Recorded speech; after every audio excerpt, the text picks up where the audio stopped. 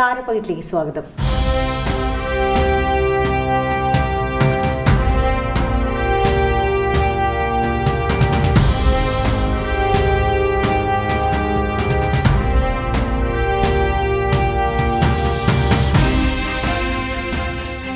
വളരെ കുറച്ചു കാലം കൊണ്ട് തന്നെ നമുക്കൊക്കെ ചിരപരിചിതയായ നടിയാണ് സൗമ്യ. ഇന്ന് നമ്മളോടൊപ്പം വിശേഷം പങ്കിടാൻ എത്തുകയാണ്. സൗമ്യ.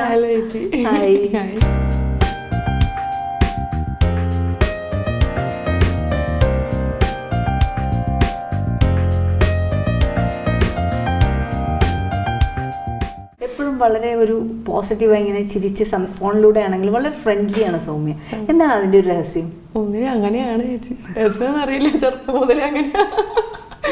എല്ലാവരുമായിട്ട് ഹാപ്പി ആയിട്ട് ഇരിക്കുക ഫ്രണ്ട്ലി ആയിട്ട് ഇരിക്കുക എന്താണ് മാർഗം കളിയിലെ ക്യാരക്ടർ മാർഗംകളി ഡീ- കൂടുതൽ ഡീറ്റെയിൽസ് എനിക്കിപ്പോൾ അങ്ങനെ പറയാൻ പറ്റില്ല. പക്ഷേ എന്താ പറയുക ഇപ്പോഴത്തെ ഈ ന്യൂ ജനറേഷൻ എല്ലാവരുടെ അട്രാക്ഷൻ എന്ന് പറഞ്ഞാൽ ടിക്ടോക്ക് അല്ലെങ്കിൽ സോഷ്യൽ മീഡിയയിൽ ആക്റ്റീവ് അപ്പം അങ്ങനെ ഒരു ടിക്ടോക്കിലൊക്കെ ആക്റ്റീവായി നടക്കുന്ന ഒരു ഫീ ഒരു ക്യാരക്ടറാണ് എന്നൊരു ത്രൂ ഔട്ട് ഉള്ളൊരു ഫിലിമിൽ എന്റെ പോർഷൻ വരുന്നില്ല. പക്ഷേ ഉള്ള ആ ഒരു ഏരിയയിൽ കുറച്ച് നല്ല നല്ല പ്രോമിനൻസും വേറൊരു വ്യത്യസ്തമായിട്ടുള്ള സംഭവമാണ്. അത് സിനിമ നമ്മൾ റിയൽ ലൈഫിൽ ടിക്ടോക്കിൽ എത്രത്തോളം ലൈഫ് ലൈവാണ് ഇതുവരെ എത്ര വീഡിയോ ചെയ്തിട്ടുണ്ട്? ഞാൻ ശരിക്കും പറഞ്ഞാൽ മാറങ്കളി സെറ്റിൽ വന്നപ്പോഴാണ് ആദ്യമായിട്ട് ടിക്ടോക്ക് ചെയ്യണം എനിക്ക് ചെയ്യണം എന്നുള്ള ആഗ്രഹം ഉണ്ടായിരുന്നു. എന്റെ അനിയത്തി ടിക്ടോക്കിന്റെ വലിയൊരു ആളാണ്. ടിക്ടോക്കിൽ എന്താ ശരിക്കും പറഞ്ഞാൽ നമ്മൾ ഭയങ്കര ക്രിയേറ്റീവായിട്ട് ചെയ്യണം. അല്ലെങ്കിൽ എവിടെ എവിടെന്നെങ്കിലുമൊക്കെ നമ്മൾ ക്ലിപ്പോ ഓഡിയോ ക്ലിപ്പോ ഒക്കെ അപ്പം അങ്ങനെ സംഭവം ഒന്നും എനിക്കറിയില്ല. മാർഗംകളിയിൽ ഇപ്പോൾ ശ്രീചേട്ടനും വിപിചേട്ടനും കഥ പറഞ്ഞ് ടിക്ടോക്ക് ഭയങ്കര ആക്റ്റീവായിട്ട് നടക്കുന്ന ഒരു പെൺകുട്ടിയുടെ കഥയാണെന്ന് പറഞ്ഞു. അപ്പം പിന്നെ അവിടെ വന്നപ്പോഴാണ് എനിക്ക് കിട്ടിയ ക്ലിപ്സ് ഇങ്ങനെ ചെയ്യുമ്പോൾ ഞാൻ ആകെ ടെൻഷനായി പോയി. ഇത് എങ്ങനെയാ ചെയ്യുക ഇപ്പൊ ഒരു പാട്ട് കേട്ട് നമ്മൾ സാധാരണ ഒരു പാട്ട് ചെയ്താൽ അത് ടിക്ടോക്കിൽ ക്ലിക്ക് ആവില്ല. നമ്മൾ എന്തെങ്കിലും ഒരു വെറൈറ്റി കൊണ്ടുവരണം അല്ലെങ്കിൽ ഫേഷ്യൽ എക്സ്പ്രഷൻ അങ്ങനെ ചെയ്ത് ചെയ്ത് പിന്നെ ചെയ്ത് തുടങ്ങിയാൽ എന്തറിയോ നമുക്ക് പിന്നെയും ചെയ്യാൻ തോന്നും. അപ്പൊ അന്ന് ഞാൻ ഒരു ഫാൻസി ഡ്രസ്സിന്റെ ലൊക്കേഷനിൽ ഇരിക്കുമ്പോൾ ഞാൻ വെറുതെ സമയം കിട്ടിയപ്പോൾ ഷോർട്ടിന് ലേറ്റ് ആയി എന്ന് പറഞ്ഞപ്പോൾ അങ്ങനെ സമയം കിട്ടിയപ്പോൾ വെറുതെ ഒരെണ്ണം ചെയ്തു. ഏതാ നമ്മുടെ വെട്ടം സിനിമയിലൊരു പോസ്റ്റ് ഞാൻ ചെയ്ത് വെച്ചു. പക്ഷെ എനിക്ക് പബ്ലിക്കിൽ പോസ്റ്റിന് ഒരു പേടി. കമന്റ് ഒക്കെ ചെയ്ത. അപ്പൊ ഞാൻ പ്രൈവറ്റ് ആയിട്ട് കമന്റ് ഒന്നും നോക്കരുത്. മുഴുവനും സത്യസന്ധമായ കമന്റ് അതെ പക്ഷെ ധൈര്യം കിട്ടിയില്ല കാരണം ഞാൻ ചെയ്തു ശരിയായി. പക്ഷെ മാർഗങ്ങളുടെ സെറ്റിൽ ടിക്ടോക്ക് പറഞ്ഞ് ചെയ്ത് ക്യാമറ റോളിംഗ് ഒക്കെ ചെയ്തതിന് ശേഷം കുറച്ച് ധൈര്യം കിട്ടി. അന്ന് ഞാൻ പോസ്റ്റ് ചെയ്തു. അപ്പൊ മൊത്തം ഇപ്പൊ ഒരു നാല് വീഡിയോസ് എന്റെ ടിക്ടോക്കിലുണ്ടാവും ആ.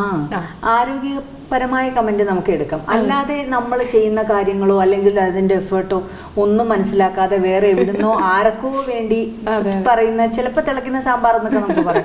അതുകൊണ്ട് അതങ്ങനെ ശ്രദ്ധിക്കാനൊന്നും പോരുത്. പക്ഷെ ഇപ്പൊ ചെയ്യാൻ ഭയങ്കര ഇൻട്രസ്റ്റ് ആയിട്ടോ.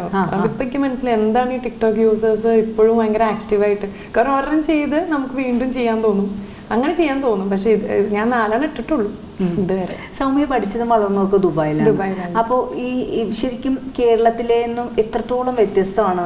ഒത്തിരി ഫാസ്റ്റ് ലൈഫും കുറച്ച് ആക്റ്റീവും അല്ലേ ഇവിടെ ദുബായിൽ പക്ഷേ ഇപ്പൊ നമ്മളിപ്പോ നോക്കുകയാണെങ്കിൽ മലയാളികളാണ് ഏറ്റവും കൂടുതൽ ദുബായിൽ അപ്പൊ നമുക്ക് വലിയ വ്യത്യാസം തോന്നില്ല. നമ്മൾ നാട്ടിലാണ്. പക്ഷെ കുറച്ചുകൂടി ആക്റ്റീവായ എല്ലാ ആഘോഷങ്ങളും ഒക്കെ സന്തോഷത്തോടെ ചെയ്യുന്ന ഒരുപാട് ഭയങ്കര അവർ- ഇപ്പൊ ഓണായാലും വിഷു ആയാലും ക്രിസ്മസ് ആയാലും ഈദായാലും അവിടെ വലിയ സംഭവമാണ്. അപ്പൊ ചിലപ്പോൾ നമ്മൾ ഓണം ഓഗസ്റ്റിലാണെങ്കിൽ നമ്മൾ ഓണത്തിന്റെ സെലിബ്രേഷൻ ചെയ്യണത് ഇപ്പൊ ഒക്ടോബറിലൊക്കെ ആയിരിക്കും. സമാജം പോലെ കൂടി അസോസിയേഷൻ ഒക്കെ കൂടി. കാരണം എല്ലാവരുടെ വർക്കിംഗ് ടൈം ഒക്കെ നോക്കി. പക്ഷെ വലിയ ഗ്രാൻഡ് ആയിട്ട് അവിടെ ചെയ്യാം. അപ്പൊ ചെറിയ ആഘോ ചെറിയൊരു ഇവന്റ് മതി. നമുക്ക് നാടിനെ വിട്ടു നിൽക്കുന്നുണ്ടാണ്. ആ നാട് വിട്ടു നിൽക്കേണ്ടതായിരിക്കും. പിന്നെ എല്ലാരും വർക്കിംഗ് ആണ്. ഇവൻ അമ്മി അച്ഛനായാലും അല്ലെങ്കിൽ എല്ലാവരും വർക്കിംഗും ഭയങ്കര ബിസി ലൈഫാണ് അപ്പൊ അതിന്റെ ഇടയിൽ വീക്കെൻഡ് എന്ന് പറയുന്നത് ഈ ഫ്രൈഡേ അല്ലെങ്കിൽ സാറ്റർഡേ അപ്പൊ ഫ്രൈഡേ നമ്മൾ വെറുതെ ഇരിക്കുകയാണെങ്കിൽ നമ്മളെല്ലാം വിചാരിക്കാം എന്നാ ശരി നമുക്ക് എന്തെങ്കിലുമൊക്കെ പരിപാടി ഒപ്പിക്കാന്ന് പറഞ്ഞിട്ട് അങ്ങനെ ഗ്യാദർ ചെയ്യണ ഒരു സംഭവമാണ് അവിടെ. പക്ഷെ അവിടെ എന്താ പറയാ ഒരു ദിവസം പോലും നമുക്ക് അങ്ങനെ വെറുതെ ഇരിക്കാൻ തോന്നില്ല. എന്തെങ്കിലുമൊക്കെ ആക്ടിവിറ്റീസ് നമ്മൾ ഇങ്ങനെ പ്ലാൻ ചെയ്തുകൊണ്ടിരിക്കും. ഇപ്പോൾ ഇത്രയും സിനിമയൊക്കെ ചെയ്തു. കിനാവല്ലിയിലെ ഹീറോയിൻ ആയിരുന്നു ഇപ്പോൾ ദാ ഫാൻസി ഡ്രസ് പിന്നെ അങ്ങനെ സ്ക്രീനിൽ കുറച്ച് നിറഞ്ഞു നിൽക്കുകയാണ്. അപ്പോൾ ദുബായിലൊക്കെ പോകുമ്പോൾ എങ്ങനെയാണോ? ഒരു വെൽക്കമിങ് സന്തോഷം. ആ. ഭയങ്കര സന്തോഷം. കിനാവള്ളി ഇറങ്ങിയ സമയത്ത് ഫസ്റ്റ് പടമായിരുന്നല്ലോ അപ്പോൾ നമ്മുടെ ദുബായിൽ റിലീസ് എന്ന് പറഞ്ഞപ്പോൾ എനിക്ക് ഭയങ്കര സന്തോഷമായി. കാരണം ദുബായ് എന്ന് പറഞ്ഞാൽ നമ്മുടെ സെക്കൻഡ് വീടാണ്. അപ്പോൾ അവിടെ ഇറങ്ങാന്ന് പറഞ്ഞപ്പോൾ ഞാൻ ഭയങ്കര ഫേസ്ബുക്ക് വഴി എല്ലാവർക്കും ഇൻഡിവിജ്വൽ മെസ്സേജൊക്കെ അയച്ചു. കാണണട്ടോ കാണണട്ടോ അപ്പൊ ഞാൻ താമസിക്കുന്നത് വാസൽ എന്ന് പറഞ്ഞിട്ടൊരു കമ്മ്യൂണിറ്റിയിൽ അവിടെ പത്തായിരം മലയാളീസ് ഉണ്ട് അവിടെ മാത്രം.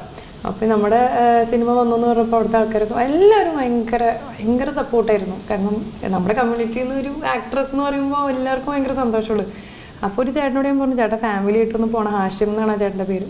അപ്പോൾ ആ ചേട്ടൻ പറഞ്ഞു തീർച്ചയായിട്ടും കാണാമെന്ന് പറഞ്ഞു. എന്നിട്ട് ഒരു ദിവസം ചേട്ടൻ എനിക്ക് മെസ്സേജ് അയച്ചു നമുക്കൊരു മൊത്തം ഒരു ഷോ എത്ര പേര് ഒക്യുപ്പൈ ചെയ്യാൻ പറ്റും? പറഞ്ഞു ഹൺഡ്രഡ് ടെൻ ആൾക്കാരാണെങ്കിൽ ഒരു തിയേറ്റർ ഒരു ഷോ ആ, ഒറ്റയ്ക്ക് എല്ലാം കോർഡിനേറ്റ് ചെയ്ത ആ കമ്മ്യൂണിറ്റിയിൽ ഒരു ഗ്രൂപ്പ് ഉണ്ടാക്കി. പത്ത് നൂറ് പേര് സിനിമ കാണാൻ വേണ്ടിയിട്ട് ആ ഷോയിൽ എന്നെ വിളിച്ചു. അപ്പോൾ ഞാൻ പോകുമ്പോൾ ഹാഷിമിന് അതെ ആശിം ചേട്ടൻ അയ്യോ അത് ഒന്നും നമുക്ക് ഒന്നും അറിയേണ്ട ആവശ്യമില്ല. ആ ചേട്ടൻ പറഞ്ഞു ഇന്ന ദിവസം സൗമ്യ ഫ്രീ ആണോ? ഫ്രീ ആണ്. നമുക്ക് എന്നാൽ ഇവിടെ നിന്ന് നമ്മളെല്ലാവരും കൂടി ഫാമിലി ആയിട്ട് പോയി കാണണം എന്ന് പറഞ്ഞിട്ട് പിന്നെ ആ ചേട്ടൻ അത് മാത്രമല്ല അതിന്റെ ഇടയിൽ ഇപ്പോൾ ഒരു ഫാമിലി ഗെറ്റ് ടുഗെദർ കൂടിയാണ് ഞങ്ങളെല്ലാം ഇടയ്ക്കിടയ്ക്ക് ചെയ്യാറുണ്ട്. ഫാമിലി ഗെറ്റ് ടുഗെദർ അപ്പോൾ ഇത് കിനാവള്ളി എന്ന സിനിമ ഒരു ഫാമിലി ഔട്ടിംഗ് പോലെ കണ്ടിട്ട് ചേട്ടൻ അവിടെ റാഫിൽ ഡ്രോ അറേഞ്ച് ചെയ്തു. മലബാർ ജോയാലുക്കാസ് മലബാർ ജോയാലുക്കാസ് ഒരു ടൈപ്പ് ആയിട്ട് മൂന്ന് ഫാമിലിക്ക് ഗിഫ്റ്റ് സ്പോൺസർ ചെയ്തു. ഒക്കെ ചേട്ടൻ ഒറ്റയ്ക്ക് ചെയ്തു. ഇവൻ റാഫിലിന്റെ ബോക്സ് വരെ ചേട്ടൻ ഇങ്ങനെ കൊണ്ടുവരും. ഫോട്ടോഗ്രാഫേഴ്സിന് അറേഞ്ച് ചെയ്തു. എനിക്ക് അത്ഭുതമായി പോയി നമ്മൾ തന്നെ നമ്മുടെ വേണ്ടി ഇത്രയും നമ്മൾ എഫേർട്ട് എടുത്തായിട്ട് അപ്പോൾ അതൊക്കെ കാണുമ്പോൾ ശരിക്കും എനിക്ക് മനസ്സിലായി. അവിടെ എത്രയും നല്ല കോപ്പറേറ്റീവും ഭയങ്കര സപ്പോർട്ടാണ് അതുപോലെ ഓരോ സിനിമ വരുമ്പോൾ അവരെപ്പോഴും ചോദിക്കും ബെസ്റ്റ് വിഷസ് അയക്കും ഭയങ്കര സ്നേഹം അവിടെ എല്ലാവർക്കും. ഇവിടെ നാട്ടിലെ സ്നേഹം പോയി തോന്നുന്നു. അയ്യല്ലേ നാട്ടിലും എവിടെയായാലും നമുക്ക് കിട്ടുന്ന സപ്പോർട്ട് എന്ന് പറയുമ്പോൾ നമുക്ക് ഓരോ സിനിമ കഴിഞ്ഞപ്പോൾ ഒന്നും വേണ്ട. ഇതിപ്പോൾ നമ്മൾ പരിചയമുള്ളവരല്ലേ? നമ്മൾ ഇൻസ്റ്റയിലൊക്കെ ഒട്ടും പരിചയമില്ലാത്ത ആൾക്കാരുണ്ടാവില്ല സ്ട്രേഞ്ചേഴ്സ് ആയിരിക്കും. അവരൊരു സിനിമ കഴിഞ്ഞ് നമുക്ക് റിവ്യൂ അയക്കുക ചിലവർ ഓണസ്റ്റ് ആയിട്ട് നല്ല റിവ്യൂ ചോദിച്ചാൽ അതിൽ ഈ സീനിൽ ഇങ്ങനെയാണ്. പക്ഷെ അങ്ങനെയൊക്കെ പറയുമ്പോൾ ഭയങ്കര സന്തോഷം തോന്നുന്നു നമ്മളെ കാണാനും നമ്മളെ ഇഷ്ടപ്പെടുന്ന കുറേ പേരുണ്ടെന്ന് പറയുമ്പോൾ ഭയങ്കര സന്തോഷം. എന്നാണ് സ്വാമിക്ക് എനിക്ക് സിനിമ ചെയ്യണം എന്നൊരു ഒരു ആഗ്രഹം. നാല് വയസ്സിൽ എന്തായിരുന്നു അതിനൊരു കാരണം അതിൽ കാരണം അറിയ അറിയില്ല. നാല് വയസ്സ് മുതൽ ഞാൻ കണ്ണാടി അമ്മ പറയാറുണ്ട് കണ്ണാടിയുടെ മുന്നിൽ നിന്ന് വെറുതെ ഇരുന്ന് അഭിനയിച്ചു നോക്കും എന്നൊക്കെ പറയാറ്. പിന്നെ എനിക്ക് നമ്മുടെ സിനിമയിലെ ചാക്കോച്ചന്റെ ഫസ്റ്റ് പടം നീത്യപ്രാവ് ഭയങ്കര ഇഷ്ടമായിരുന്നു. അപ്പം ഞാൻ ചാക്കോച്ചനായിട്ട് അഭിനയിക്കും. എന്റെ ചേച്ചി ഞാൻ ശാലിനിയുടെ റോൾ നിർത്തും. എനിക്ക് അങ്ങ് ഭയങ്കര ചാക്കോച്ചന് എനിക്ക് ഭയങ്കര ഡൈഹാർട്ട് ഫാനായിരുന്നു ഇപ്പോഴാണ് എന്നാലും അന്നെന്ന് പറഞ്ഞ ചാക്കോച്ചൻ ഒരു ചോക്ലേറ്റ് ഹീറോ അങ്കായിരുന്നു അതെ. അപ്പൊ അന്ന് ഞാൻ എന്നിട്ട് കട്ടിംഗ് ഒക്കെ എടുത്തു വെച്ച് ചാക്കോച്ചൻ കേൾക്കായിരിക്കും ഇപ്പോഴാണ്. ഫാനാണ് അപ്പൊ ചാക്കോച്ചന്റെ കട്ടിംഗ് ഒക്കെ എടുത്ത് ബുക്സിലൊക്കെ ചാക്കോച്ചന്റെ ഫോട്ടോ ഒക്കെ കവർ ചെയ്ത്. അങ്ങനെ എന്നിട്ട് ഞാൻ ആ ഒരു രാജമല്ലി സോങ് ഒക്കെ ഞാൻ ആക്ട് ചെയ്യും. ഞാൻ ഹീറോ ആയിട്ട് ചേച്ചിനെ രണ്ടും ചെയ്യാൻ പറ്റില്ലല്ലോ. അപ്പൊ ഭയങ്കര അങ്ങനെയൊക്കെ ചെയ്യുമ്പോൾ അമ്മ പറയും എന്താണ് സിനിമയാണോ നിന്റെ ജീവിതം? അതുകൊണ്ട് എനിക്ക് ഒരു സിനിമയെങ്കിലും എനിക്ക് അഭിനയിക്കണം അമ്മ എന്ന് പറഞ്ഞു. അങ്ങനെ ഞാൻ ഡാൻസ് പഠിച്ചു തുടങ്ങി. കാരണം അന്നുള്ള ആക്ട്രസൊക്കെ ഇപ്പോൾ മഞ്ജു ചേച്ചി ആയാലും ശോഭന മാം ആയാലും എല്ലാവരും ഡാൻസിലും നവ്യ മാം നവ്യ ചേച്ചി ആണെങ്കിലും എല്ലാവരും ഡാൻസിലൂടെയാണ് സിനിമയിലേക്ക് വന്നതാണ്. അപ്പം എന്റെ കോൺസെപ്റ്റ് എന്ന് വെച്ചാൽ ഡാൻസ് ഡാൻസ് അതാണ് സിനിമയിൽ. അപ്പം ഞാൻ അമ്മോട് പറഞ്ഞു എനിക്ക് ഡാൻസ് പഠിക്കണം അമ്മ എന്ന് പറഞ്ഞു. അങ്ങനെ ഞാൻ തേർഡ് സ്റ്റാൻഡേർഡിൽ പഠിക്കുമ്പോൾ എയ്റ്റ് ഇയറിൽ ക്ലാസിക്കൽ ഡാൻസ് പഠിച്ചു തുടങ്ങി. അപ്പോൾ ഡാൻസ് പക്ഷേ പഠിച്ച് നമുക്ക് കൂടുതൽ അഭിനയിക്കാനുള്ള ഇത് കിട്ടും. കൂടുതൽ എക്സ്പ്രഷൻസും ഇമോഷൻസും ഒക്കെ നമുക്ക് ഡാൻസിലൂടെ കാണിക്കാൻ പറ്റും. അങ്ങനെ പഠിച്ച് പഠിച്ച് പഠിച്ച് ഞാൻ ടെൻത്ത് ആയപ്പോൾ ചേച്ചിക്ക് ഗ്രാജുവേഷൻ നാട്ടിൽ ചെയ്യണമെന്ന് പറഞ്ഞു. അപ്പോൾ എനിക്ക് ദുബായ് വിട്ട് വരാൻ ഭയങ്കര വിഷമമായിരുന്നു. ഫ്രണ്ട്സും എല്ലാവരും എവിടെയല്ലേ അപ്പോൾ ഞാൻ പറഞ്ഞു എനിക്ക് നാട്ടിൽ പോകണ്ടെന്ന് പറഞ്ഞപ്പോൾ ചേച്ചി പറഞ്ഞു ഇല്ല എനിക്ക് കോളേജ് നാട്ടിൽ ചെയ്യണമെന്ന് അപ്പം എന്റെ മനസ്സിൽ എന്റെ ഡാൻസ് മാഷ് പറഞ്ഞു എനിക്കല്ല സിനിമ ചെയ്യണം എന്ന് ആഗ്രഹം. നാട്ടിൽ പോയാൽ സിനിമയ്ക്ക് ചാൻസ് ഉണ്ട് കാരണം അന്ന് ഇവിടുത്തെ ഇപ്പോഴത്തെ പോലെ അന്ന് ദുബായിലുള്ളവർക്ക് ഓപ്പർച്യൂണിറ്റീസ് കുറവായിരുന്നു. അന്ന് ഇത്രയും റിലീസും ഇല്ല. പിന്നെ ഓൺലൈൻ ഒന്നും ആക്റ്റീവ് അല്ല. ഇപ്പോൾ കുറേ ഓപ്പർച്യൂണിറ്റീസ് അപ്പം ഇവൻ ആ ശരി എന്നാൽ പിന്നെ നാട്ടിലെ സിനിമയ്ക്ക് വേണ്ടി നാട്ടിൽ പോകാമെന്ന് പറഞ്ഞു പഠിക്കാനും നല്ല സിനിമയ്ക്ക് വേണ്ടി നാട്ടിൽ പോകാം അങ്ങനെ നാട്ടിൽ വന്നു. നാട്ടിൽ വന്നിട്ട് പക്ഷേ ഇതുപോലെ എന്റെ ഒരു അങ്കിളുണ്ട് ഒരു ഞങ്ങളുടെ ഒരു ഫാമിലി ഫ്രണ്ട് ഉണ്ട്. ആ അങ്കിൾക്ക് അറിയായിരുന്നു സിനിമ എനിക്ക് ഭയങ്കര ഇഷ്ടമാണ്.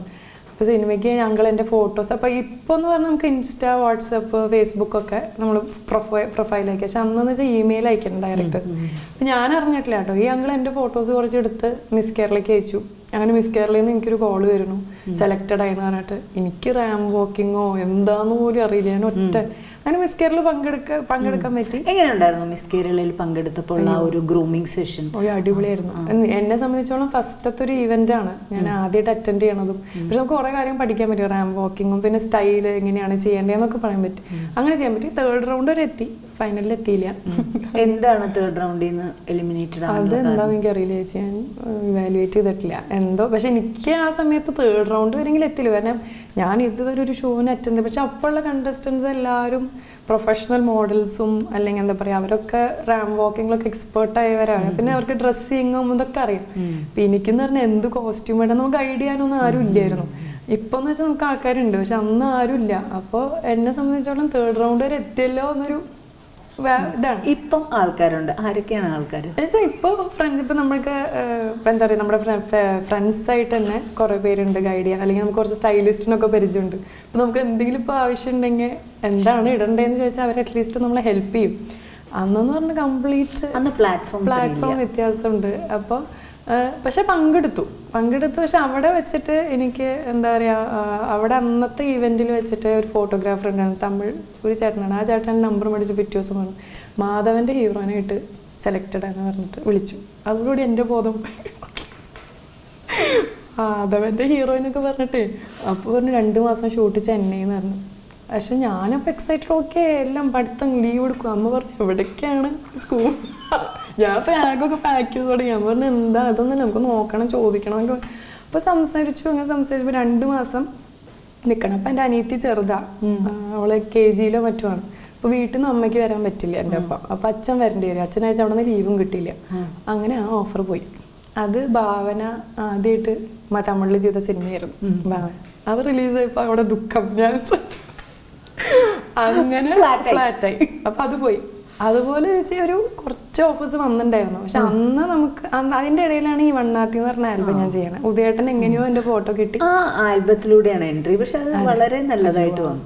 അത് ചെയ്യാൻ പറ്റിയ വലിയൊരു ഭാഗ്യം. സൗമ്യ പാടൂ ഇല്ല ചേച്ചി. വീട്ടിൽ പാടും പക്ഷെ റിസ്ക് എടുക്കണ്ട. അങ്ങനെ ആൽബം ചെയ്തു. ആൽബം ചെയ്തതിന് ശേഷം കുറച്ച് ഈ മിസ്റ്റിലും ഇതിലൊക്കെ അത്യാവശ്യം അത് നല്ല രീതിയിൽ ഇത്. അപ്പോൾ വേറെ ഓഫേഴ്സ് വന്നു. പക്ഷെ എന്തെങ്കിലുമൊക്കെ കാരണം കൊണ്ട് പോവായിരുന്നു.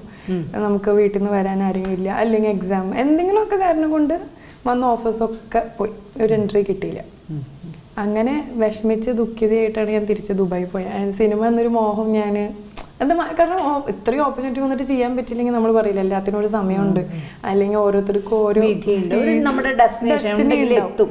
അപ്പൊ ആഗ്രഹം ഉണ്ടായിട്ടും കാര്യമില്ല. എല്ലാം ഫാക്ടേഴ്സ് ജോയിൻ ചെയ്ത് വരണ്ടേ. അപ്പൊ ഞാൻ അമ്മോട് പറഞ്ഞു എനിക്ക് പറ്റും തോന്നുന്നില്ല. എനിക്ക് അപ്പൊ അമ്മ പറഞ്ഞു ഇല്ല നിനക്ക് ചെയ്യാനുള്ള യോഗ ഉണ്ടെങ്കിൽ എപ്പോഴാണെങ്കിലും എങ്ങനെയെങ്കിലുമൊക്കെ നിനക്ക് വന്ന് വരും എന്നൊരു ഒരു പോസിറ്റീവ് സൈഡ് അമ്മ എനിക്ക് അന്ന് തന്നിട്ടുണ്ടായിരുന്നു. പക്ഷെ ഞാൻ പിന്നെ ദുബായി പോയി അവിടെ ജോലി ചെയ്തു. ഇനി ആരാണ് വിളിക്കാൻ പോണേ? ഇനിയിപ്പോ പിന്നെ നാട്ടിലും അല്ല ദുബായിലാണ് പിന്നെ പക്ഷെ അവിടെ ഇരിക്കുമ്പോഴാണ് ദുബായിലുള്ള കുറെ ആർട്ടിസ്റ്റ് സിനിമയിലേക്ക് വരുന്നു എന്നൊക്കെ വീണ്ടും നമുക്ക് ഉള്ളിൽ ആ അടഞ്ഞ മോഹം വീണ്ടും ഞാൻ പുറത്തേക്ക് പോകും. അപ്പൊ ഞാൻ ജോലിയൊക്കെ ചെയ്യുമ്പോൾ ആൾക്കാർ എന്റെ ആൽബം ഒക്കെ കണ്ടിട്ട് പറയും എന്തിനാ ഇവിടെ നിന്ന് ജോലി ചെയ്തു പോയി സിനിമയിൽ അഭിനയിച്ചാൽ എന്ത് ജോലിയാണ് ഞാൻ അവിടെ എച്ച് ആറിലായിരുന്നു ഒരു കമ്പനിയിൽ എം ബി എ കഴിഞ്ഞിട്ടാണ് ഇല്ല ഞാൻ ബി കോം കഴിഞ്ഞു ഞാൻ പഠിച്ചത് അക്കൗണ്ടിങ് ആണെങ്കിലും കയറിയത് ഹ്യൂമൻ റിസോഴ്സിലാണ് പിന്നെ ഞാൻ അവിടെ എത്രത്തോളം പീപ്പിൾ മാനേജ്മെന്റിൽ മിടുക്കിയാണ്? അത്യാവശ്യം നന്നായിരുന്നു ചേച്ചി. കാരണം ആദ്യം ഞാൻ കയറി പിന്നെ എന്നെ ട്രെയിൻ ചെയ്ത് എന്റെ ബോസ് ട്രെയിൻ ചെയ്തിട്ട് പിന്നെ അവസാനം ഞാൻ അസിസ്റ്റന്റ് വെച്ചാൽ മാനേജർ പൊസിഷൻ റിസൈൻ ചെയ്ത്. അപ്പൊ അവിടെ ഒറ്റയ്ക്ക് രണ്ടു വർഷം ഞാൻ തന്നെ ഡിപ്പാർട്ട്മെന്റ് ഹാൻഡ് ചെയ്തു. പത്തായിരം പേര്. അത്യാവശ്യം കയ്യിൽ കാശൊക്കെ ആയിട്ടാണ് സിനിമയിലേക്ക് വരുന്നത്. അങ്ങനെയൊന്നുമില്ല. എന്റെ കയ്യിൽ കാശിരിക്കില്ല. വേഗം ചെലവായി. അങ്ങനെ ഒരിക്കലും ഞാൻ എനിക്ക് സിനിമയിൽ വരാൻ പറ്റില്ല എന്നുള്ളൊരു എന്നാ ഒരു ആഗ്രഹമുണ്ട്. എപ്പോഴെങ്കിലും അറ്റ്ലീസ്റ്റ് ഞാൻ അമ്മോട് ഓരോ സിനിമ കാണാൻ പോകുമ്പോൾ എനിക്ക് തിയേറ്ററിൽ പോയി കാണാൻ ഭയങ്കര വിഷമമായിരുന്നു. കാരണം സിനിമ കാണുമ്പോൾ ഞാൻ അവിടെ ഇരുന്ന് അഭിനയിച്ച് നോക്കും. അയ്യോ ഈ സിനിമയിൽ എനിക്കൊരു വേഷം കിട്ടുന്നത് ഞാൻ ഇങ്ങനെ ആ അത്രയും ഭയങ്കര എന്താ പറയുക നമ്മൾ ജനിച്ചപ്പോൾ മുതലുള്ള ഒരു സ്വപ്നം എന്ന് പറയില്ല. അതുപോലെ അപ്പം അമ്മ പറയും നീ വിഷമിക്കണ്ട. ഇപ്പോൾ എത്രയോ പേര് ഗ്യാപ്പിന് ശേഷം വരുന്നു. അതുപോലെ നിനക്ക് യോഗ ഉണ്ടെങ്കിൽ നീ വരും എന്ന് പറഞ്ഞു.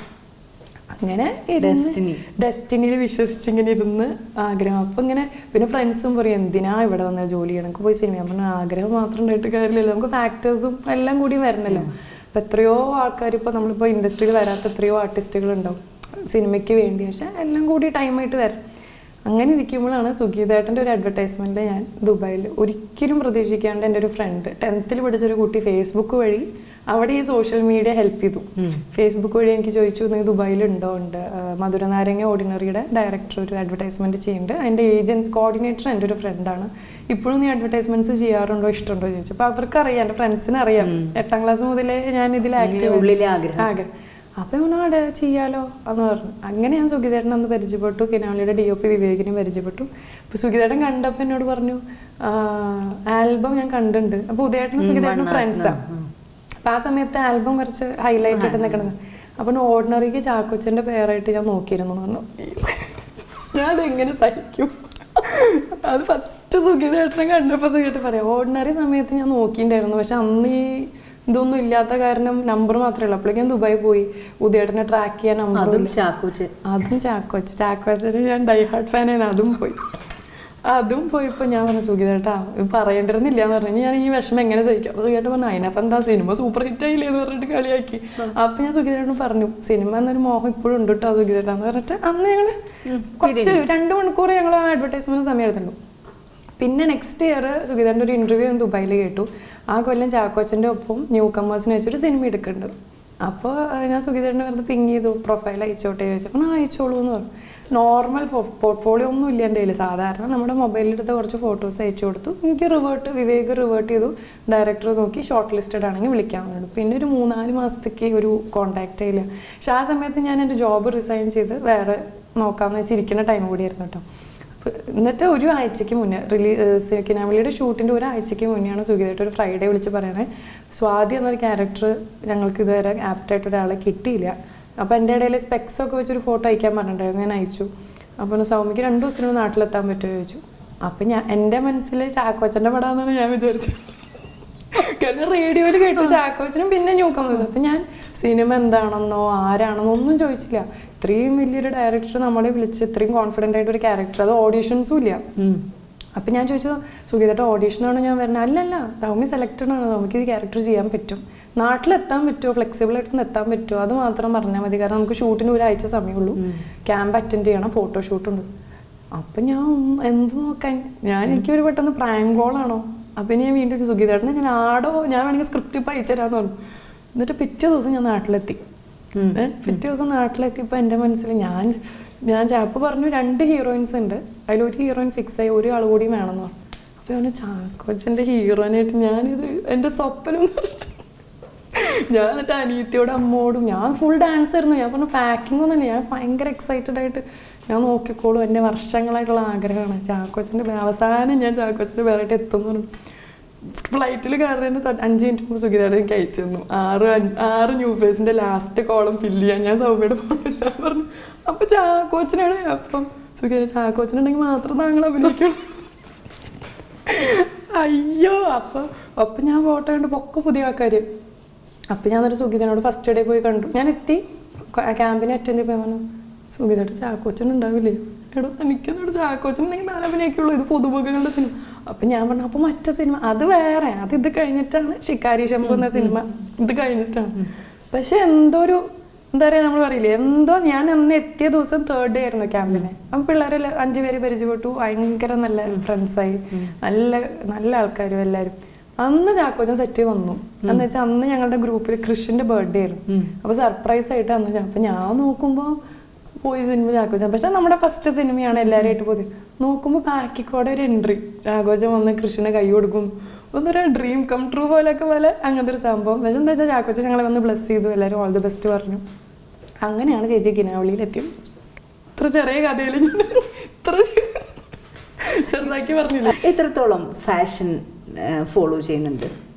ഫാഷൻ എനിക്ക് ഇഷ്ടമാണ്. അതായത് ഡ്രസ്സ് ഡ്രസ്സിങ് നോക്കാനും ഓരോ സെലിബ്രിറ്റീസിനെ ഇപ്പോൾ നമ്മൾ ഫോളോ ചെയ്യുമ്പോൾ ഓരോരുത്തരുടെ ഡ്രസ്സിങ് സ്റ്റൈലും ഇതൊക്കെ നോക്കാൻ ഇഷ്ടമാണ്. പക്ഷെ ഞാൻ ഭയങ്കര അങ്ങനെ അങ്ങനെ സൽവാറാണ് കൂടുതലും ഞാൻ ഉപയോഗിക്കുക. ദുബായിലൊക്കെ വളർന്നിട്ട് ഇങ്ങനെ ആയിപ്പോയത് എന്താ? അങ്ങനെ ചേച്ചി. കാരണം ഞാൻ ദുബായിലാണെങ്കിൽ ഞങ്ങൾ അമ്മി അച്ഛനൊക്കെ ഇഷ്ടം ട്രഡീഷണൽ വെയറും അങ്ങനത്തെ സംഭവങ്ങളൊക്കെയാണ്. പിന്നെ ഭയങ്കര ഇപ്പൊ ഞാൻ ചോദിക്കട്ടെ ജീൻസ് എന്ന് പറയുന്നത് നമുക്ക് ഒരിക്കലും അതിനെ ഒരു മോഡേൺ ആയിട്ട് അങ്ങനെയൊന്നും കണക്കാക്കാൻ പറ്റില്ലല്ലോ. നമുക്ക് സൗകര്യം സൗകര്യം കംഫർട്ടബിൾ ജീൻസ് ഒക്കെ ഞാൻ യൂസ് ചെയ്യും. ജീൻസും ടോപ്പും പിന്നെ ഇപ്പൊ ഞാൻ ചെയ്ത ചിൽഡ്രൻസ് പാർക്കിലായാലും ഒക്കെ എന്റെ ഔട്ട്ഫിറ്റ് ജീൻസും ടോപ്പ് മോഡേൺ ഗേൾ ആയിട്ടാണ്. പക്ഷെ ഭയങ്കര എന്താ പറയാ ഭയങ്കര ഗ്ലാമറസ് ആയിട്ട് ഞാൻ അങ്ങനെ ഇട്ടിട്ടില്ല. അതുകൊണ്ടായിരിക്കാം ചിലപ്പോൾ ഞാൻ കംഫർട്ടബിൾ അല്ലാത്ത. പക്ഷെ എനിക്ക് ഇഷ്ടമാണ് അതായത് അത് കാരണം ഓരോരുത്തർക്കും ഓരോ ഡ്രസ്സ് സൂട്ട് ചെയ്യും. അതെ. ഇപ്പൊ ഞാൻ എനിക്ക് സൂട്ടില്ലാത്ത ഡ്രസ്സ് ഇട്ടാലും ചിലപ്പോൾ വൃത്തിയുടെ ആയിരിക്കും അതായിരിക്കണം നമ്മുടെ ഒരു ഫാഷൻ. കോൺസെപ്റ്റ് ചിലർ നല്ല ഡ്രസ്സ് ഇട്ട് എനിക്ക് പറയും എന്ത് രസമാണ് കാണാൻ അവരെ എന്ന് പറയും. നമ്മൾ ചില ചില സെലിബ്രിറ്റീസിലൊക്കെ ഇടുമ്പോൾ എന്ത് ഭംഗിയാണ് ഡ്രസ്സ് പക്ഷെ ആ ഡ്രസ്സ് നമ്മൾ ഇടുമ്പോൾ ആ വൃത്തി കിട്ടണമെന്നില്ല അപ്പോൾ ഞാൻ കൂടുതലും എനിക്കിട്ടിട്ട് പത്താൾക്കാർ ചോദിച്ചാൽ ഭംഗിയും തോന്നണ ആ പാറ്റേണിൽ ഫോളോ ചെയ്യാനാണ് താല്പര്യം. പക്ഷേ ഇപ്പം ക്യാരക്ടറിനൊക്കെ ഡിമാൻഡ് അത് ഇടും അത്രേ ഉള്ളൂ. നേരത്തെ പറഞ്ഞു സിനിമയിൽ എത്താൻ വേണ്ടിയായിരുന്നു അന്ന് ഡാൻസ് പഠിച്ചതെന്ന്. പക്ഷെ പഠിച്ചു തുടങ്ങിയപ്പോൾ ഡാൻ ആ ഒരു നൃത്തത്തിനോടുള്ള ഒരു എങ്ങനെയായിരുന്നു ആ ഒരു അപ്രോച്ച് സ്നേഹം പിന്നെ ഉള്ള ഒരു പ്രാക്ടീസിങ്ങും ഒക്കെ? ആ ഞാൻ എയ്റ്റ് ഇയേഴ്സിലാണ് പഠിച്ചത് പ്രേമാഷ് പ്രേമനാണ് ഗുരു. മാഷിന്റെ ഫസ്റ്റ് സ്റ്റുഡന്റ് ആയിരുന്നു ഞാൻ. അപ്പോൾ പഠിച്ചത് സിനിമയ്ക്ക് വേണ്ടിയിട്ടാണെങ്കിലും പിന്നെ പഠിച്ചു തുടങ്ങുമ്പോൾ എന്താ പറയുക നമ്മുടെ ഒരു പാർട്ട് ഓഫ് ലൈഫായിട്ട് മാറും ഡാൻസ് എന്ന് പറയുന്നത്. അപ്പോൾ ഡെയിലി വന്ന് ചെറിയ കുട്ടിയായിരുന്നു. അപ്പോൾ ഞാൻ ആദ്യം എനിക്ക് ഓർമ്മയുണ്ട് മാഷിന്റെ അടുത്ത് പോയി ഞാൻ സ്കേർട്ടൊക്കെ ഇട്ടിട്ട് പോയപ്പോൾ മാഷ് പറയും ഇല്ല ടൈസ് ഇടണം. അരമണ്ഡലത്തിലൊക്കെ ഇരിക്കുമ്പോൾ നമുക്ക് ബുദ്ധിമുട്ടാവും. പെട്ടെന്ന് ഇരിക്കുമ്പോഴൊക്കെ. പക്ഷേ അമ്മയാണ് എന്നെ കൂടുതൽ അതായത് ഓരോ കോമ്പറ്റീഷന് പോകുമ്പോൾ അമ്മ തലേ ദിവസം ഇരുന്ന് അമ്മ ഇരുന്ന് എനിക്ക് എക്സ്പ്രഷനൊക്കെ കാണിക്കും. ഞാൻ കിടന്ന് ഉറങ്ങുമ്പോൾ അമ്മ അച്ഛനെ എനിപ്പിക്കും അച്ഛനൊക്കെ രാവിലെ മൂന്ന് മണിക്ക് എനിക്ക് അന്ന് കാസറ്റ് അല്ലേ? കാസറ്റ് അമ്മയ്ക്ക് അച്ഛന് ഭയങ്കര ഇഷ്ടമാണ് ഡാൻസും ആർട്ട് എന്ന് പറഞ്ഞാൽ ഭയങ്കര ഇഷ്ടം. അപ്പം അച്ഛൻ രാവിലെ മൂന്ന് മണിക്കൊക്കെ എനിക്ക് ഇതിന്റെ മൂന്ന് കോപ്പി ഉണ്ടാക്കും. അപ്പൊ ഞാൻ രാത്രി കിടന്ന് തുടങ്ങുമ്പോൾ അച്ഛൻ ഒന്ന് ഓഫ് ഒന്ന് ഉറങ്ങട്ടെ എന്ന് പറയുമ്പോൾ അച്ഛൻ പറയും ഇല്ല മൂന്ന് കോപ്പി ഉണ്ടാക്കും. അപ്പോൾ ഞാൻ ചോദിക്കും എന്തിനാണ് ഈ മൂന്ന് കോപ്പി? ഉണ്ട് പക്ഷെ അതൊരു കോമ്പറ്റീഷന് പോയപ്പോൾ ടേപ്പർ കോഡ് കേടായിട്ട് അവർ പറഞ്ഞു സെക്കൻഡ് കോപ്പി ഉണ്ടോ? ചോദിച്ചു. ഒരു ഒരു കുട്ടിയോട്. അപ്പോൾ അവർക്ക് ഉണ്ടായില്ല അപ്പം അച്ഛൻ പറഞ്ഞു ഇപ്പം മനസ്സിലായില്ലേ? ഇപ്പം അതാണ് ഗുണം. അപ്പം അമ്മയ്ക്ക് അച്ഛന്റെ അത്രയും പാഷനും ഡെഡിക്കേഷനും കാരണം അതിന്റെ നമുക്ക് കുറച്ച് കിട്ടുമെന്ന് പറയില്ലേ? അപ്പോൾ അതുപോലെ അവരുടെ ഒരു സപ്പോർട്ട് കൊണ്ട് ഭയങ്കര കോമ്പറ്റീഷന് പങ്കെടുക്കും. പിന്നെ കോമ്പറ്റീഷൻ ഭയങ്കര ഇൻട്രസ്റ്റിംഗ് ആണ് കാരണം കുറേ പേര് പരിചയപ്പെടാം. ഇതുപോലെ കുറേ പേരായിട്ട് കത്തി വെച്ചിരിക്കാം. അപ്പോൾ അങ്ങനെ ടെൻത്ത് വരെ ഭയങ്കര ആക്റ്റീവായിട്ട് ഉണ്ടായിരുന്നു. ടെൻ അത് ഞാൻ നാട്ടിലേക്ക് വന്നു. നാട്ടിൽ വന്നപ്പോൾ ലെവൻത്തും ട്വൽത്തും എനിക്ക് ട്രെയിൻ ചെയ്യാൻ മാസ്റ്റർ ഉണ്ടായിരുന്നില്ല. പക്ഷേ ഞാൻ ഡി സ്കൂൾ കോമ്പറ്റീഷനും പിന്നെ കോളേജിലെ ഇപ്പോൾ ഡി സോൺ അതൊക്കെ ആക്റ്റീവായിട്ട് പങ്കെടുക്കും പിന്നെ ഇപ്പോൾ ദുബായിലുള്ളപ്പോൾ മാഷിന്റെ ആനുവൽ പ്രോഗ്രാം വരാറുണ്ട്. അപ്പോൾ പങ്കെടുക്കാറുണ്ട്. പിന്നെ കിട്ടുന്ന ടൈമിലൊക്കെ പോയി ഡാൻസ് സെൽഫായിട്ട് കോറിയോഗ്രാഫി ചെയ്ത് വെറുതെ വീട്ടിൽ കളിക്കാറുണ്ട്. അതിനിപ്പം ടിക്ടോക്കിൽ ഞങ്ങൾക്ക് പ്രതീക്ഷിക്കാം അത് ടിക്ടോക്ക് ബാൻ ചെയ്തു. അപ്പൊ സൗമ്യയുടെ അപ്പൊ സൗമ്യ അത്ര ലൈവ് ആയിരുന്നില്ല. ഞാൻ ലൈവ് ആയിരുന്നില്ല. പക്ഷെ എനിക്ക് ഭയങ്കര വിഷമം തോന്നി. കാരണം കുറേ പേരുടെ ഒരു എന്താ ഒരു ട്വന്റി ഫോർ അവേഴ്സ് എന്ന് പറഞ്ഞാൽ അതിൽ ഇമ്പോർട്ടന്റ് ആയിട്ടുള്ള കുറേ പേരുടെ അത് നല്ലതാണ് ചേച്ചി. അത് ആദ്യം ഞാൻ വിചാരിച്ചു എന്തിനാണ് ഇത് ഇത്ര ടൈം സ്പെൻഡ് ചെയ്യണമെന്ന് ചോദിച്ചു പക്ഷെ അതെന്താ നമുക്ക് ഒരു എന്റർടൈൻമെന്റ് എന്തെങ്കിലും വേണ്ടേ? എന്തെങ്കിലും ഒരു ഇൻട്രസ്റ്റിംഗ് പക്ഷെ അത് മിസ്യൂസ് ചെയ്യാൻ പാടില്ല അതാണ്. ഏതും അതിനെ ഒരു വേൽ നമുക്ക് എങ്ങനെയൊക്കെ ഉപയോഗപ്രദമാക്കാം എന്ന് വിചാരിച്ചു വേണം. ഇപ്പൊ എനിക്ക് ചില വീഡിയോസ് കാണുമ്പോൾ വിഷമം എനിക്ക് അതെ, അതെ, ചിലർ ഭയങ്കര അത് വൈറൽ ആവാൻ വേണ്ടിയിട്ടാണോ അത് പബ്ലിസിറ്റിക്ക് വേണ്ടിയിട്ടാണോ ചിലർക്ക് ഭയങ്കരമായിട്ട് മിസ്യൂസ് ചെയ്യും. പക്ഷെ അതിന്റെ ആഫ്റ്റർ എഫക്ട്സ് പിന്നെയാണ് ഉണ്ടാവാന്നുള്ളത് ആ ടൈമിൽ നമ്മൾ റിയലൈസ് ചെയ്യില്ല അത് കാണുമ്പോൾ വിഷമമുണ്ട്. അപ്പൊ ടിക്ടോക്ക് ബാനായിപ്പോൾ അവർ പറഞ്ഞത് അതാണ്. മിസ്യൂസ് ചെയ്യണ കാരണമാണ് ഇത് ബാൻ ചെയ്യുന്നത് ആ, സമയത്താണ് നമ്മുടെ ഷൂട്ട് നടന്നുകൊണ്ടിരിക്കുന്നത് അപ്പൊ നമ്മുടെ ഇതിൽ ടിക്ടോക്കിന് ഭയങ്കര ഇമ്പോർട്ടൻസ് ഉണ്ട്. ഞാൻ ചെയ്യണ ക്യാരക്ടറും ഹരിചേട്ടൻ ചെയ്യണ ക്യാരക്ടറും ഒക്കെ ടിക്ടോക്ക് ഭയങ്കര അപ്പൊ നമുക്കൊരു വിഷമം തോന്നി ഇങ്ങനെ ടിക്ടോക്ക് ബാൻ ചെയ്ത കാരണം നമ്മുടെ ഈ ടിക്ടോക്കിന്റെ കണ്ടന്റ് റിലീസിന് സമയത്ത് ചിലപ്പോൾ ടിക്ടോക്ക് യൂസേഴ്സ് അത് യൂസ് ചെയ്യാൻ ചാൻസ് ഉണ്ട്. അപ്പോൾ പക്ഷെ നമ്മുടെ സിനിമയിൽ ടിക്ടോക്ക് ബാൻ ചെയ്യുകയാണെങ്കിൽ അതിന് റിലേറ്റഡ് ആയിട്ടുള്ള ഒരു സ്ക്രിപ്റ്റിലോ കുറച്ച് മാറ്റങ്ങളൊക്കെ വരുത്തിയിട്ടുണ്ടായിരുന്നു. പക്ഷെ എന്തും നമുക്കിപ്പോൾ ഏത് സോഷ്യൽ മീഡിയ ആയാലും അത് ലിമിറ്റ് ചെയ്യണ രീതിയിൽ നമ്മൾ യൂസ് ചെയ്താൽ നല്ലതാണ്. പക്ഷെ അത് ഓവറായിട്ട് മിസ്യൂസ് ചെയ്യണമാകുമ്പോഴാണ് വിഷമം വരിക. ഇനി ദുബായിലേക്ക് പോകാനുള്ള പ്ലാൻ ഉണ്ടോ സോമിക്ക് അതെ ചേച്ചി ഞാൻ ദുബായിലാണ്. ഞാനിപ്പോ പ്രൊജക്ട് വർക്ക് ചെയ്യാണ്. ആ ഇല്ല ഇല്ല. റിസൈൻ ചെയ്തു. ഇപ്പൊ പ്രൊജക്ട് അനുസരിച്ച് നാട്ടിലേക്ക് വരും. ചെയ്യും പോവും പിന്നെ വരും അങ്ങനെ. മൂന്നര മണിക്കൂർ മതി അവിടെ നിന്ന് പിന്നെ ജോലി ജോലി ഇപ്പൊ ഇല്ല. എന്താ വെച്ചാ ഏഹ് ജോലിക്ക് കയറിയാൽ നമുക്ക് ലീവ് എടുക്കാൻ പറ്റില്ല. എന്നുവെച്ചാൽ കൊല്ലത്തിൽ ഒരു മാസം ലീവ് ഉള്ളൂ. പിന്നെ വല്ല എമർജൻസിക്ക് വരാൻ പറ്റും. പക്ഷെ നമുക്ക് എന്താ പറയാ ഫുൾ ടൈം നമ്മൾ ഒരെണ്ണത്തിൽ ഫോക്കസ് ചെയ്യണമെങ്കിൽ ഞാൻ വിചാരിച്ചു സിനിമയ്ക്ക് വേണ്ടി ഫോക്കസ് ചെയ്തിരുന്നാൽ നമുക്ക് പെട്ടെന്ന് വരേണ്ടി വന്നാൽ അതിനെ നമുക്കൊരു ഗ്യാപ്പ് എന്ന് പറയാൻ പറ്റില്ല. അത്തരം ഫോക്കസ് ചെയ്ത് നമ്മൾ എടുക്കുന്ന ഒരു ബ്രേക്കിനെ നമുക്കൊരു ഗ്യാപ്പ് എന്നോ ബ്രേക്ക് എന്നോ പറയാൻ പറ്റില്ല. നമ്മൾ വളരെ എഫക്റ്റീവായിട്ട് യൂട്ടിലൈസ് ചെയ്യുന്ന ഒരു വഴിയാണ്. അപ്പൊ ഞാൻ വിചാരിച്ചു ജോലി ചെയ്യണമെങ്കിൽ എനിക്ക് രണ്ടിലും ജോലി ചെയ്യണമെങ്കിൽ അതിൽ ഫുൾ അറ്റൻഷൻ കൊടുക്കണം. സിനിമയ്ക്കാണെങ്കിൽ ഫുൾ അറ്റൻഷൻ അപ്പൊ ഞാൻ വിചാരിച്ചു ഇത്രയും കാലം ജോലി ചെയ്തില്ലേ? ഇപ്പൊ ഇനി ഒരു അവസരം കിട്ടിയ സ്ഥിതിക്ക് ഇതിൽ നോക്കാം. ഇതിപ്പോ എത്ര കാലം നമുക്ക് പറയാൻ പറ്റില്ലല്ലോ. ഒക്കെ ലക്കും ഇതൊക്കെ ആണല്ലോ ഇത്രയും ആഗ്രഹിച്ച സിനിമയിൽ വന്ന സൗമ്യ സിനിമയിൽ വന്നതിന് ശേഷം സൗമ്യയിൽ കാണുന്ന എന്തൊക്കെ മാറ്റങ്ങളാണ് സിനിമയിൽ കൂടുതൽ ഡീറ്റെയിൽ ആയിട്ട് പഠിക്കാൻ തുടങ്ങി. അതായത് നമ്മൾ ഒരിക്കലും പ്രതീക്ഷിച്ചില്ല ഒരു പ്ലാറ്റ്ഫോം വരും. ഇപ്പോൾ കൂടുതൽ സിനിമ ഇപ്പം ഓൾമോസ്റ്റ് എല്ലാ സിനിമ കണ്ടു തുടങ്ങി. പിന്നെ ഓരോ പോസ്റ്റേഴ്സ് വരുമ്പോൾ ഡീറ്റ് ക്രെഡിറ്റ്സ് വായിച്ചു. അത് കൂടുതൽ അതായത് ആരാണ് മേക്കപ്പ് ആരാണ് മ്യൂസിക് ഒക്കെ അങ്ങനെ സിനിമയെ കുറച്ചുകൂടി കൂടുതൽ സ്നേഹിക്കാൻ തുടങ്ങി. ഇപ്പം ദുബായിൽ എത്രത്തോളം ആൾക്കാരൊക്കെ തിരിച്ചറിയുന്നത്? കുഴപ്പമില്ല ചേച്ചി. പക്ഷെ ഇപ്പോഴും എന്താ പറയുക വണ്ണാത്തിയുടെ ആൽബം അതാണ് കൂടുതൽ ആൾക്കാർ ഇപ്പോഴും ഇപ്പോൾ നമ്മുടെ സിനിമയുടെ പോസ്റ്ററൊക്കെ ഇൻസ്റ്റയിലൊക്കെ ഇടുമ്പോൾ വണ്ണാത്തി ചേച്ചി അല്ലേ ചിലർക്ക് ഡൗട്ട് ഉണ്ട്. കുറച്ച് ഗ്യാപ്പ് ആയല്ലോ. അപ്പോൾ വണ്ണാത്തി ചേച്ചി അല്ലേ ഭയങ്കര ഇഷ്ടമാണ്. ഇപ്പോഴും ആ പാട്ട് ഞങ്ങളുടെ ഫോണിലുണ്ടെന്നൊക്കെ ഭയങ്കര സന്തോഷം. കാരണം ഇത്രയും ഇത്ര ഗ്യാപ്പിന് ശേഷവും പാട്ട് ഇപ്പോഴും എല്ലാവരും ഇഷ്ടപ്പെടുന്നത്. അപ്പോൾ കൂടുതലും വണ്ണാത്തി എന്ന പേരിലാണ്. ഇപ്പോൾ ഷോപ്പിലൊക്കെ പോയാൽ ചോദിക്കണമെന്നുണ്ട് എന്ന് ചിലർക്ക് ഇപ്പൊ ചോദിക്കാൻ പേടി. ചില കല്യാണിലൊക്കെ പോയാൽ പാട്ട് വയ്ക്കും. വണ്ണാത്തി പാട്ട് വയ്ക്കും അപ്പോൾ ഞാൻ പെട്ടെന്ന് തിരിഞ്ഞു നോക്കും. അങ്ങനെ ചില അപ്പൊ വന്ന് സംസാരിക്കും. അങ്ങനെ. ഇപ്പോൾ ഇപ്പോൾ ചിൽഡ്രൻസ് പാർക്കൊക്കെ ഇറങ്ങിയപ്പോൾ കുഴപ്പമില്ലാണ്ട് അത്യാവശ്യം ചോദിച്ചു തുടങ്ങി. ചിൽഡ്രൻസ് പാർക്ക് റിലീസിന് ശേഷം ഇവിടെയൊക്കെ എല്ലാവരും തിരിച്ചറിഞ്ഞു. കാര്യം രണ്ട് സിനിമയായില്ലേ? കുഴപ്പമില്ല ഈ ഒരു യങ്സ്റ്റേഴ്സ് ഇപ്പം ഒരു പത്ത് പെൺകുട്ടികൾ കൂടുമ്പോൾ വരുന്ന എന്തൊക്കെ ടോപ്പിക് ആയിരിക്കും നിങ്ങളുടെ ഡിസ്കഷൻ വരുന്നത്? പത്ത് പേര് വേണമെന്നില്ല അഞ്ചു പേരായാലും. അതായത് നിങ്ങളുടെ ഫ്രണ്ട്സ് ഇരിക്കുമ്പോൾ ശരിക്കും ആൾക്കാർ നമുക്ക് ആൾക്കാർ പറയാറുണ്ടോ ഇപ്പോഴത്തെ പെൺകുട്ടികൾ അല്ലെങ്കിൽ ഇപ്പോഴത്തെ കുട്ടികൾ ന്യൂ ജനറേഷൻ അപ്പൊ കുറേ തെറ്റിദ്ധാരണയുണ്ട്. പക്ഷെ എന്തൊക്കെയാണ് എന്തൊക്കെ ടോപ്പിക്കാണ് സാധാരണ വരിക? നമ്മളിപ്പോൾ ഞാൻ എന്റെ ഫ്രണ്ട്സിനൊപ്പം ഇരുന്ന് ഇതുപോലെ ഡ്രസ്സോ അങ്ങനത്തെ കാര്യങ്ങളൊക്കെ ഞാൻ സംഭവം മേക്കപ്പിന്റെ ഞാൻ കുറച്ച് ഈ മേക്കപ്പ് പ്രൊഡക്ട്സ് കളക്ട് ചെയ്യണതിലൊക്കെ കുറച്ച് ഭയങ്കര ഇൻട്രസ്റ്റഡ് ആണ്. വേറെ ഇപ്പം മറ്റുള്ളവർ മേക്കപ്പ് ചെയ്യണതും അല്ലെങ്കിൽ ഡ്രസ്സ് ചെയ്യണതും ഇപ്പോൾ വേറൊരു ഇപ്പം കിട്ടിയിട്ട് കൊടുത്ത് സാൻഡിലാണെങ്കിൽ പോലും ഞാൻ ഒബ്സർവ് ചെയ്യാറുണ്ട്. കാരണം ഓരോരുത്തരും നമുക്ക് കൂടുതൽ പഠിക്കാൻ പറ്റുമല്ലോ പറ്റും. സ്റ്റൈൽ പഠിക്കാൻ പറ്റും. അപ്പോൾ ഞാനിപ്പോൾ ഇപ്പം എന്റെ ഫിലിം സിനിമയിൽ എന്ന് വെച്ചപ്പോൾ ചിൽഡ്രൻസ് പാട്ട് ഗായത്രി എന്റെ എന്റെ കോ ആർട്ടിസ്റ്റ് മാത്രമല്ല ആളെന്റെ കസിന് കൂടിയാണ്. അപ്പോൾ ഞങ്ങളാണ് ഇപ്പോൾ ഏറ്റവും കൂടുതൽ കമ്പനി എന്ന് പറയണത്. അപ്പോൾ ഞാൻ ഡെയിലി മെസ്സേജ് അയക്കും. എന്തെങ്കിലുമൊക്കെ ഉണ്ടെങ്കിൽ നമുക്ക് മെസ്സേജ് അയക്കും തിരിച്ചയക്കും. അപ്പോൾ നമ്മൾ ഓരോ അങ്ങനെ ഒന്നും ചേച്ചി. ഇപ്പം എന്തെങ്കിലും ടോപ്പിക് ഉണ്ടെങ്കിൽ സംസാരിക്കും. ഞാൻ അങ്ങനെ ഭയങ്കര ഡീറ്റെയിൽഡ് ആയിട്ട് സോഷ്യൽ ഇഷ്യൂസ് അങ്ങനെ ഒന്നും സംസാരിക്കണ ആളല്ലെങ്കിൽ സംസാരിക്കാൻ അറിയൂല അപ്പം എന്തെങ്കിലും ഈ ഡ്രസ്സിന്റെ അതിപ്പം സൗമ്യ സൗമ്യ സിനിമയിൽ ഫോക്കസ് ചെയ്തു സൗമ്യ സിനിമ അങ്ങനെ. ബാക്കി സുഹൃത്തുക്കൾ ഇപ്പൊ ഫ്രണ്ട്സ് ഒന്നും എല്ലാവരും സിനിമയിലുള്ളവരല്ല? എന്നാലും ഞാൻ ചോദിക്കുന്നതെന്ന് വെച്ചാൽ ഇപ്പം ഒരു പൊളിറ്റിക്സ് ആയാലും ഡെവലപ്മെന്റ് ആയാലും സോഷ്യൽ ഇഷ്യൂസ് ആയാലും ഇന്നത്തെ കുട്ടികൾ അനുഭവിക്കുന്ന കാര്യം വിദ്യാഭ്യാസത്തിന്റെ കാര്യം എത്രത്തോളം ഇത്തരം കാര്യങ്ങളൊക്കെ വരും? അത് അങ്ങനത്തെ സീരിയസ് ഡിസ്കഷൻ ഒന്നുമില്ലേ? എന്റെ എന്റെ കാരണം ഞാൻ ജനറലി ഇങ്ങനെ ഭയങ്കര സീരിയസ് ആയിട്ട് സംസാരിക്കുന്ന ആളല്ല. അപ്പോൾ എനിക്ക് ഇങ്ങനത്തെ കോംപ്ലിക്കേറ്റഡ് ടോപ്പിക്ക് സംസാരിക്കുമ്പോൾ എനിക്ക് ഞാൻ സൈലന്റ് ആവും. അപ്പം ഞാൻ ഞാൻ സൈലന്റ് ആകുമ്പോൾ ഇവർ പറയാം അന്ന് പിന്നെ ടോപ്പിക്ക് മാറ്റി ഇൻട്രസ്റ്റഡ് ആയിട്ട് ടോപ്പിക്ക് സംസാരിക്കാം അപ്പോൾ ഞാനപ്പോൾ വല്ല ഫുഡിന്റെ കാര്യമോ സിനിമയുടെ കാര്യമോ ഇത് തന്നെയാണല്ലോ എനിക്ക്. ഫുഡിന്റെ കാര്യം എന്ന് പറഞ്ഞപ്പോഴാണ്. ഫുഡിന്റെ കാര്യത്തിൽ എത്രത്തോളം മെഡിക്കുകയാണ് ചോക്ലേറ്റ്സ് ഭയങ്കര ഇഷ്ടമാണ് ഉണ്ടാക്കാനാണ്. അല്ല കഴിക്കണ കാര്യം ആദ്യം പറയും. ചോക്ലേറ്റ്സ് ഭയങ്കര ഇഷ്ടമാണ് പിന്നെ അങ്ങനെ വല്ലാണ്ട് കുറച്ച് ഡയറ്റ് ഒക്കെ നോക്കണ രീതിയിൽ ഞാൻ മുന്നോട്ട് പോകും അപ്പോൾ ഞാൻ ഫുഡ് ഇഷ്ടമാണെങ്കിലും ലിമിറ്റ് ചെയ്തേ കഴിക്കുള്ളൂ. പക്ഷെ ചോക്ലേറ്റ്സ് ഇത് പാതിരാത്രിക്കാന്ന് തന്നെ ഞാൻ കഴിക്കും. അതിൽ യാതൊരു കൺട്രോൾ ഇപ്പോൾ രണ്ട് ചോക്ലേറ്റ് കൂടുതൽ കഴിച്ചാൽ ഞാൻ ചോറ് സ്കിപ്പ് ചെയ്യും. അങ്ങനെയാണ് ഞാൻ ഇപ്പം കൺട്രോൾ ആവാൻ ഉണ്ടാക്കാൻ നോൺ വെജ് ഉണ്ടാക്കും ചിക്കൻ കറി ചിക്കൻ ഐറ്റംസ് കൂടുതൽ ഉണ്ടാക്കും പിന്നെ ബാക്കി വെജിറ്റേറിയൻ ഒക്കെ അമ്മ ഉണ്ടാക്കി തരും. ആ അപ്പൊ ഇന്ന് നമുക്ക് കൗമുദി പ്രേക്ഷകർക്ക് സൗമ്യ ഒരു ചിക്കൻ റെസിപ്പി അയ്യോ. അതാണ്. താരപ്പകറ്റിൽ വന്നവർക്ക് ഞാനൊരു ടാസ്ക് കൊടുക്കാറുണ്ട്. അപ്പോൾ താരപ്പകറ്റ് കുക്കറി ഷോയിലേക്ക് സ്വാഗതം. ഇനി സൗമ്യക്ക് യെസ് ഒന്നും വെരി സിമ്പിൾ നാടൻ ചിക്കൻ കറി. പറയും പറയും. ഞാനിവിടെ ചപ്പാത്തിയാക്കി റെഡിയാക്കി അല്ല നാടൻ ചിക്കൻ കറി എണ്ണ ഒഴിക്കുക. ആ ഒഴിച്ചു. അല്ല കറക്റ്റ് ദൈവമേ അറിയാണ്ട് പറഞ്ഞു. ഒന്നുമില്ല സവാള ഇടുക. എണ്ണ ഒഴിച്ചു. എണ്ണ ഒഴിച്ചു. അതങ്ങടെ സവാള ഇട്ടു. അതിനൊരു ഭംഗിയിൽ ഇങ്ങനെ നല്ല ചോപ്പ് ചെയ്ത് കുറച്ച് ഇടുക അപ്പൊ എത്ര? രണ്ട് കിലോ ചിക്കൻ വിചാരിക്കുക. ഒരു മൂന്നാൽ സവാള ഇടുക.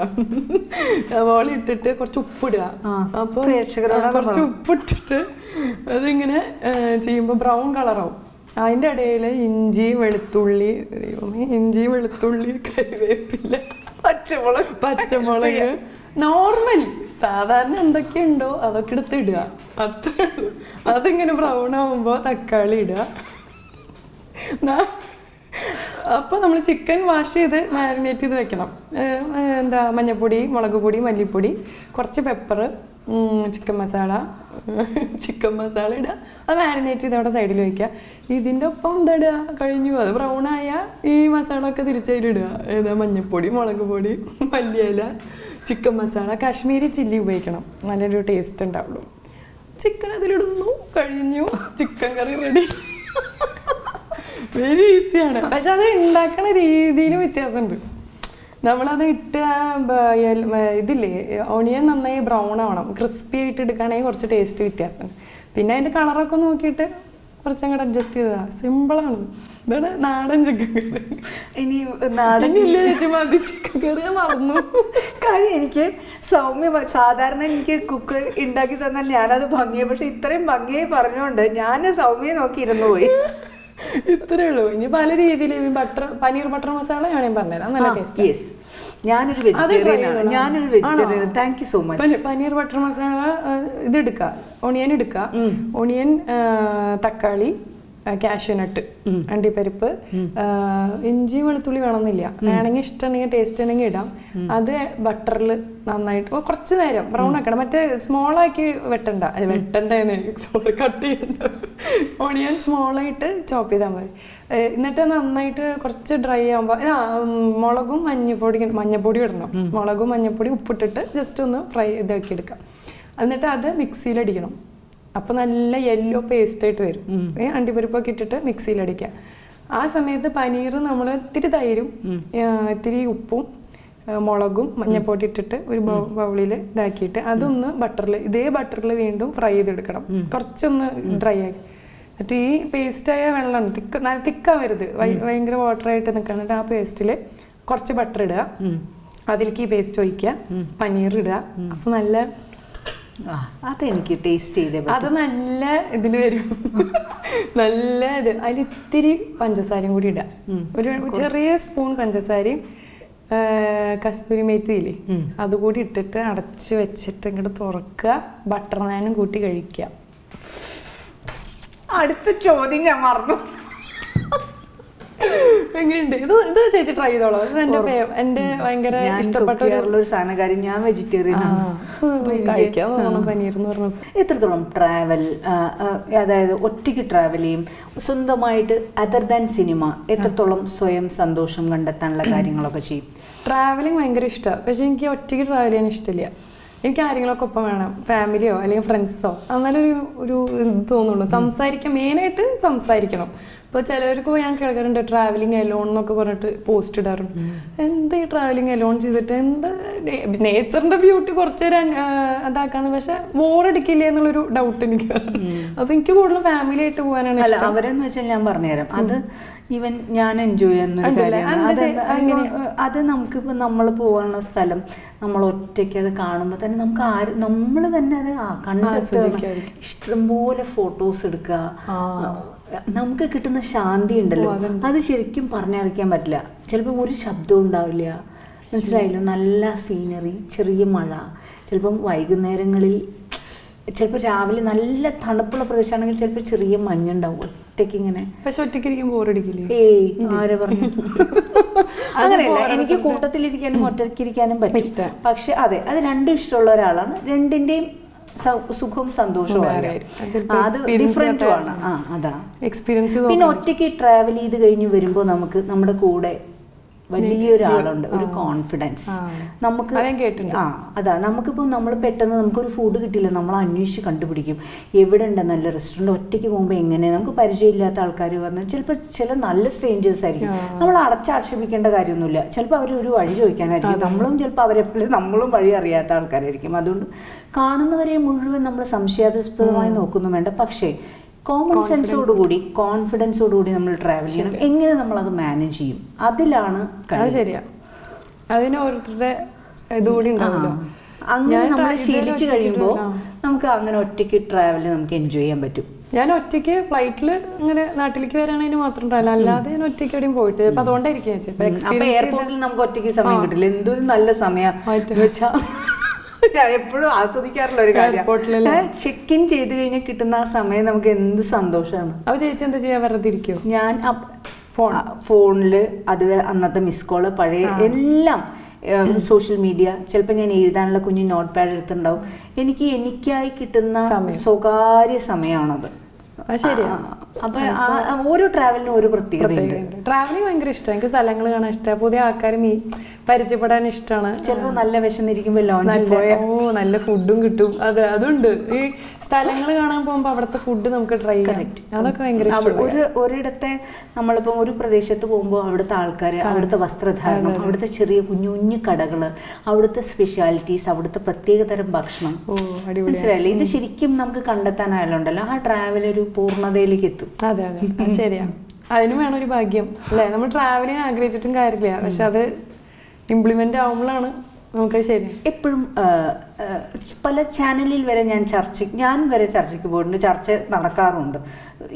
ഒരുപാട് സംസാരിക്കുന്ന പെൺകുട്ടികൾ പെട്ടെന്ന് തെറ്റിദ്ധരിക്കപ്പെടും. അപ്രോച്ചബിൾ ആണെന്ന് ആൾക്കാർ തോന്നും. ആക്ച്വലി അത് നേരെ തിരിച്ചാണ്. ഒരുപാട് സംസാരിക്കാം എന്ന് വെച്ചാൽ സംസാരിക്കാൻ ഒരുപാട് സംസാരിക്കുന്ന കുട്ടികളെ അങ്ങനെ അപ്രോച്ച് ചെയ്യാൻ ബുദ്ധിമുട്ടാണ്. ബിക്കോസ് അവർക്കറിയാം എങ്ങനെ മറുപടി പറയണം. സൗമ്യക്ക് അങ്ങനത്തെ അങ്ങനത്തെ അനുഭവങ്ങളൊക്കെ ഉണ്ടായിട്ടുണ്ടോ?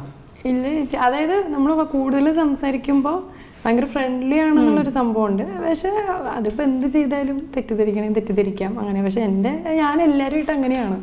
അതായത് എനിക്ക് കൂടുതൽ ഫ്രണ്ട് വെച്ചാൽ പെട്ടെന്ന് ഇപ്പം എന്നോട് തിരിച്ച് അതേ വൈബ് തന്നില്ലെങ്കിൽ അതായത് ഫോർ എക്സാമ്പിൾ ഇപ്പോൾ ചേച്ചിയായിട്ട് സംസാരിച്ചു. നമ്മളിവിടെ ഫസ്റ്റ് കണ്ടപ്പോൾ തന്നെ ചേച്ചി സൗമ്യാന്ന് പറഞ്ഞിട്ട് ഓടി വന്നു. അപ്പം എനിക്ക് മനസ്സിലായി ചേച്ചി ഞാൻ ഒരേ വൈബിലാണ് അപ്പോൾ എനിക്ക് അത്ര ഓപ്പണായിട്ട് സംസാരിക്കാൻ പറ്റും. പക്ഷേ എന്നാൽ ചില സ്ഥലത്ത് ചില ലൊക്കേഷനിൽ പോയിട്ട് ഇപ്പോൾ ഞാനൊരു ഫീമെയിൽ ആർട്ടിസ്റ്റിനെ കണ്ടു. അവർ നോർമലായിട്ട് ഞാൻ ഹലോ പറഞ്ഞപ്പോൾ ആ ഹലോ പിന്നെ ഞാൻ കൂടുതൽ സംസാരിക്കുമ്പോൾ അവർ അവരുടേതായ സ്പേസിൽ അത് ഓരോരുത്തർക്കും ഓരോ ഐഡന്റിറ്റി ഉണ്ട്. അപ്പം പിന്നെ ഞാനും അതുപോലെ തന്നെ ഇരുന്നു. കാരണം എനിക്ക് പിന്നെ നമുക്ക് അധികം ആ ഒരു ഓപ്പൺനെസ് കിട്ടാത്ത കാരണം.